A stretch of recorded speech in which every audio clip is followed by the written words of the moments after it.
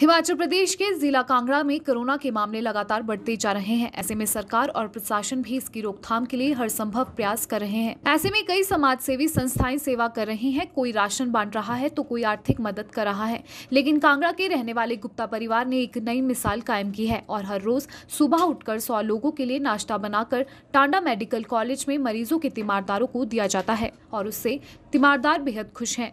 विनय गुप्ता ने कहा की उन्हें लोगों की सेवा करने में आनंद आता है। वह सुबह के नाश्ते को लोगों तक पहुंचाकर सुकून महसूस करते हैं। उन्होंने बताया कि इस महामारी के दौर में इंसान की मदद करना ही असली धर्म और कर्म है। विनय गुप्ता की पत्नी वसुधा का कहना है कि वह सुबह पाँच बजे उठ जाती हैं और नाश्ता बनाती हैं। उन्होंने बताया कि आज इस महामारी के दौर में अगर इंसानियत को ज़िंदा रखना है तो इंसान की मदद करनी होगी। उन्होंने लोगों से आग्रह किया है कि लोग एक दूसरे की मदद करें, न कि दूरियाँ बनाएँ।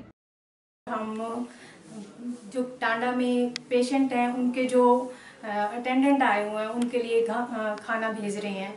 पहले संख्या पचास थी और धीरे धीरे वो बढ़कर अब सौ पहुँच गई है। सुबह सुबह लगभग हम पाँच बजे उठ के ये कार्य करते हैं और लगभग तीन सौ चपाती अब बन रही है। मैं, मेरे हस्बैंड और मेरे दोनों बेटे, मेरी सासू माँ, हम सारे इस काम में लगे हुए होते हैं। वहीं तीमारदारों का कहना है कि आज के इस समय में कोई किसी की मदद नहीं करता, लेकिन गुप्ता परिवार बहुत ही भलाई का काम कर रहा है। उन्होंने कहा कि जैसे गुप्ता परिवार यह काम कर रहा है और परिवारों को भी आगे आना चाहिए, ताकि लोगों को सहारे के साथ साथ राहत भी मिल सके। उन्होंने कहा कि गुप्ता परिवार की वजह से उन्हें काफ़ी राहत मिल रही है और उनका धन भी बच रहा है। ब्रेकफास्ट प्रोवाइड करते हैं और देख सकते हैं, अभी अच्छी चपाती है तीन चार चपाती देते हैं, साथ में सब्ज़ी देते हैं और बनाना वगैरह और पानी की बॉटल्स देते हैं जैसे आप देख रहे हो। और कह रहे हैं कि वो साथ में सैनिटाइज भी कर रहे हैं जिनके पास मास्क नहीं है उनको वो मास्क प्रोवाइड करवा रहे हैं। ऐसी कोई दिक्कत नहीं और ये बहुत अच्छा काम कर रहे हैं यहाँ पे। मेरा नाम मीना है और मैं हम जिसिमपुर से आए हुए हैं। और हम जैसे एटीन डे से हम यहीं पे हैं और यहाँ पे हमें खाना सुबह नाश्ता प्रोवाइड करवाया जाता है। शाम को भी दिया जाता है पौने छः बजे। बस बढ़िया खाना होता है अच्छा होता है। काफ़ी मदद मिल रही है ऐसे यहाँ पे आने से हमें। मेरी माता जी यहाँ पे एडमिट हैं।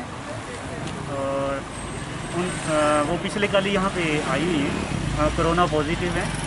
तो ये मुझे खाना जो है, अभी सेवा भारती की ओर से दिया जा रहा है। तो इसके इससे मुझे क्या हो रहा है कि मेरी फाइनेंशियल हेल्प जो है, हो जा रही है। इससे मेरा पैसा भी बच रहा है ना। और चलो इससे मैं अपने मदर के, की देखभाल भी कर सकता हूँ और ज़्यादा